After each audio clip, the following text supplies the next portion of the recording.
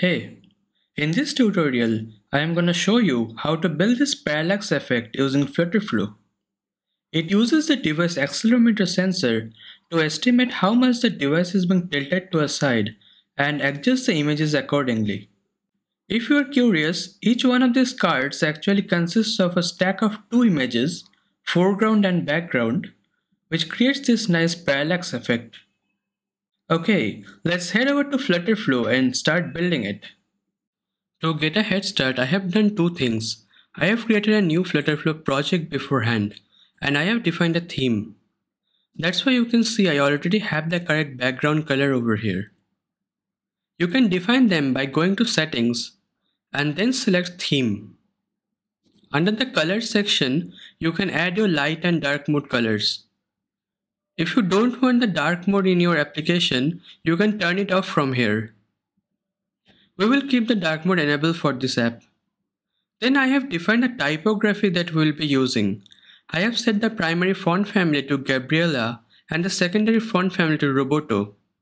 You can customize the theme as per the look and feel of your app that you want to achieve. Okay, now let's head back to the UI builder. Let me switch to the widget tree view so that you can have a look at the widget structure as I start adding new widgets. And let's also open up the widget palette. Cool.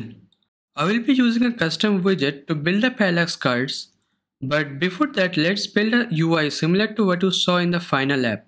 Select the app bar, remove the elevation, and set it to 0. Remove the title from here now add a icon button to the leading of the app bar. Let's change this icon and set it to menu icon. Add one more icon, place it to the action section of the app bar. Change the icon to something like a person. We won't set any actions for now, but you can define some action on this button like the menu button can be used for opening up a drawer. A person button can be used to navigate to a profile page maybe. Okay, let's add a text. Change this hello world to exclusive trips just for you. Let's use title 1 for the text style the text seems too close to the top of the page, so let's add some padding.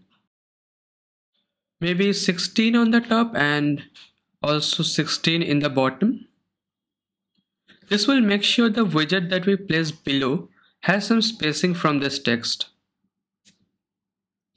You might have noticed in the final app, there was a bottom nav bar. Let's add that to the UI as well. But first we need to create two pages. Let's call the first one to be favorites page. Remove the app bar and just add a text widget. Align the column main axis to the center and wrap the text widget with a row and set its main axis alignment to center as well. Now change this text to favorites and use title 2 as the text style. Now add one more page, call it search page.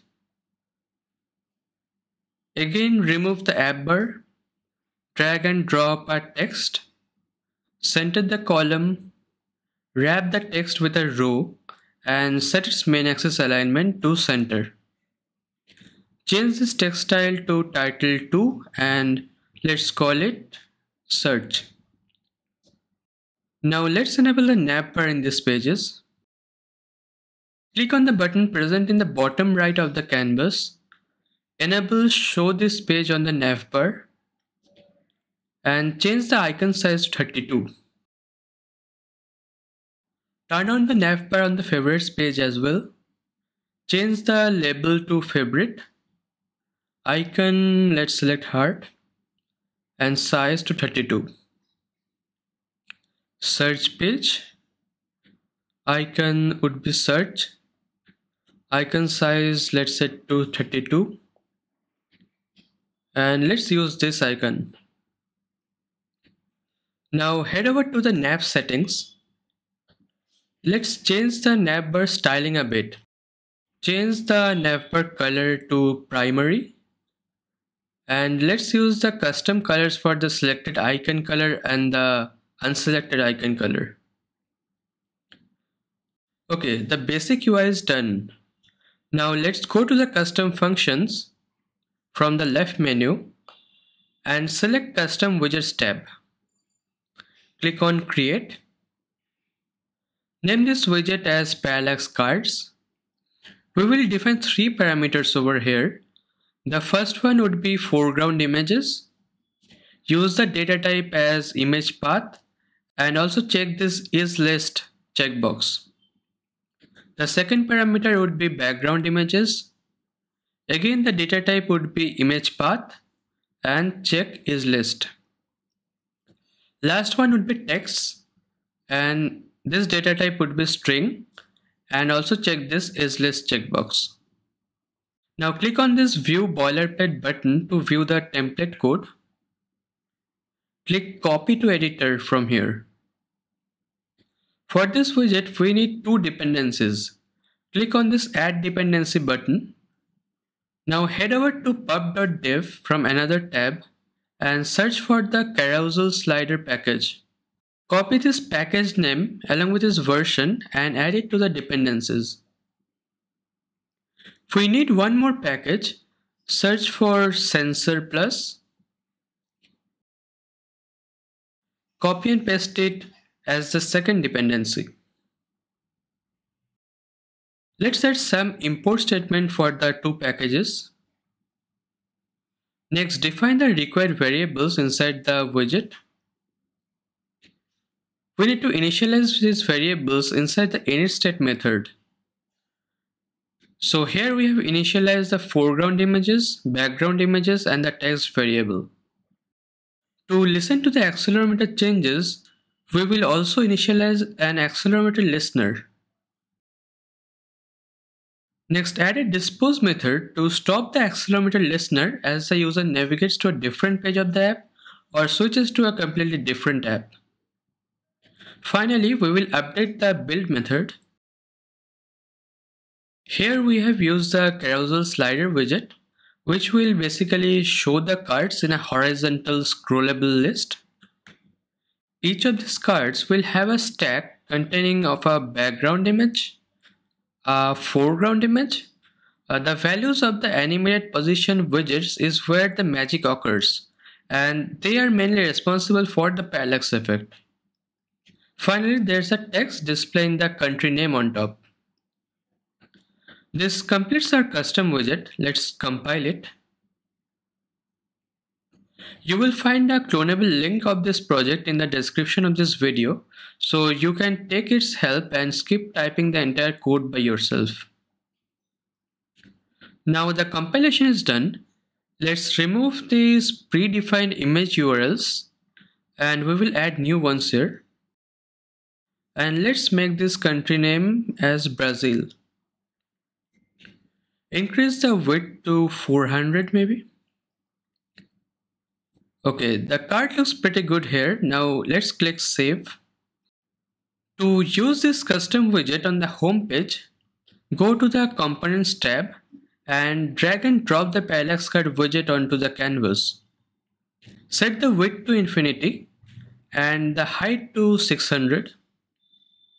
I have already defined some local state variables. We will set the values of the foreground images, background images and the text using those variables. Also make this widget expanded. Now let me give you a quick look at the local state variables. They can be accessed from here. I have some values defined in this foreground images list. Similarly, I have defined some values in the background images and also the text. If you are curious about how these images look, Here's how a foreground image looks. The top part is transparent so the background image is visible. And here's how the background image looks. It's much wider which in turn also helps in improving the parallax effect. We would add one more text to this page. Other offers. We will set the theme style to subtitle 1 and give some padding 16 on top and 8 in the bottom. Okay, now let's test out the app in the run mode of Flutterflow. One thing to keep in mind, to try out the parallax effect, you need to run it on a device having access to the accelerometer sensor. So you won't be able to try out the parallax effect in test or run mode. Here's how the carousel looks. The parallax effect works best on Android and iOS devices. You can download the code from Flutterflow and run the app locally on your mobile device. And there you have it, parallax effect using accelerometer sensor built with Flutterflow. Hope you enjoyed this video and don't forget to check out the Flutterflow marketplace for some amazing custom widgets and actions shared by our community members.